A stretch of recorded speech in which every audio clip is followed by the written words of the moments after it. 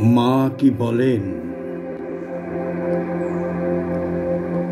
আসল জানা তখনই হয় যতটুকু জানা আছে, ততটুকু কাজে ফুটিয়ে তোলাই হলো আরও বেশি করে জানবার শ্রেষ্ঠ পন্থা। পথে এগিয়ে চলবার সব থেকে জোরালো উপায়। একটুখানি শুধু জীবনে প্রয়োগ, একান্ত অকপটতায়।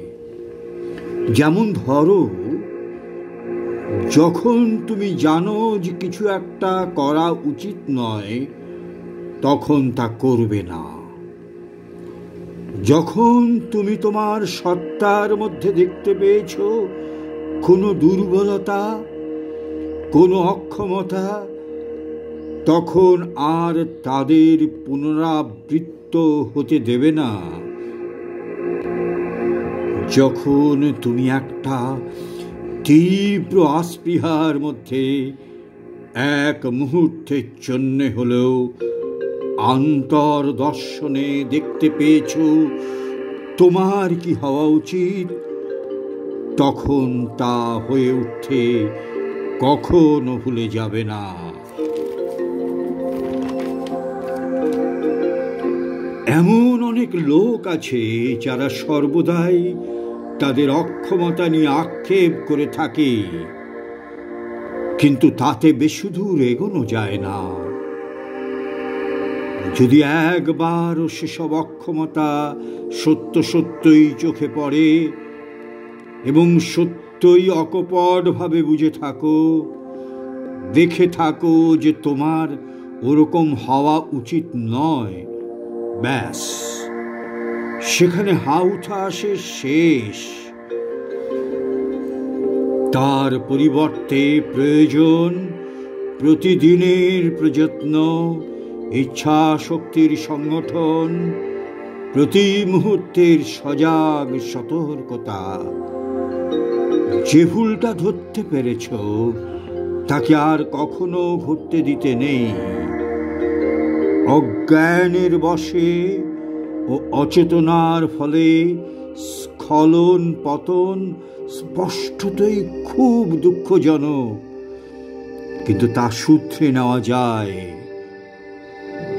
অন্য পক্ষে কোনো একটা ভুল করা উচিত নয় জেনেও তা ক্রমাগত করে চলা হলো হীন কাপুরুষতা এবং নিজেদের সেরকম হতে দেওয়া আমাদের কিছুতেই হওয়া উচিত নয়।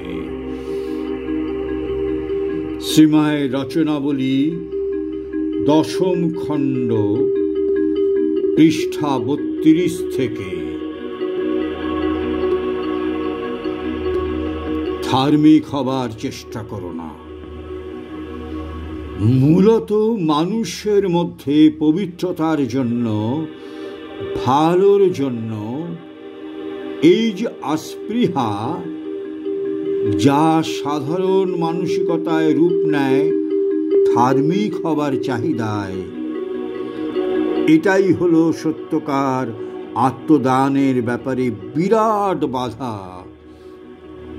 মিথ্যাচারের মূলেই রয়েছে তা এবং সর্বোপরি তা রয়েছে ভণ্ডামির উৎসে।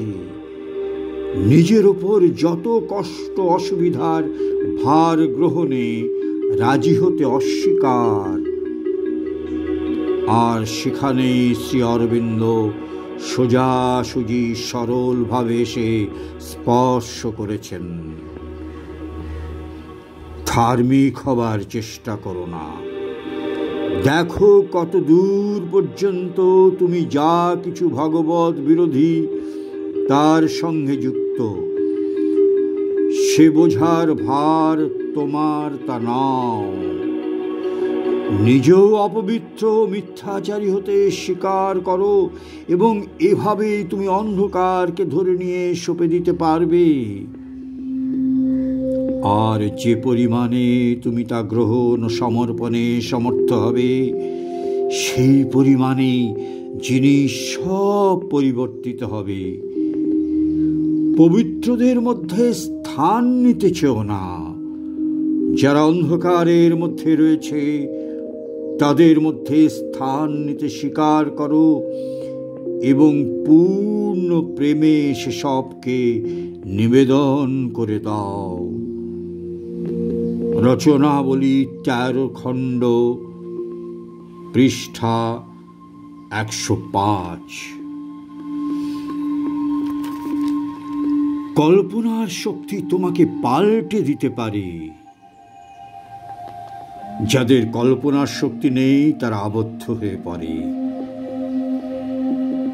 কীভাবে কল্পনাকে ব্যবহার করতে হয়, তা কেউ যদি জানে তাহলে সে তার নিজের অন্তরে এবং বাহিরের জীবনকে গড়ে তুলতে পারে। কীভাবে তাকে ব্যবহার করতে হয়, তা যদি সে জানে এবং সে শক্তি যদি তার থাকে, তাহলে মানুষ কল্পনার দ্বারা তার নিজের জীবনধারাকে গড়ে তুলতে পারে। সত্যি বলতে কল্পনা হলো জগতে কোনো কিছু গড়ে তোলার প্রাথমিক পদ্ধতি।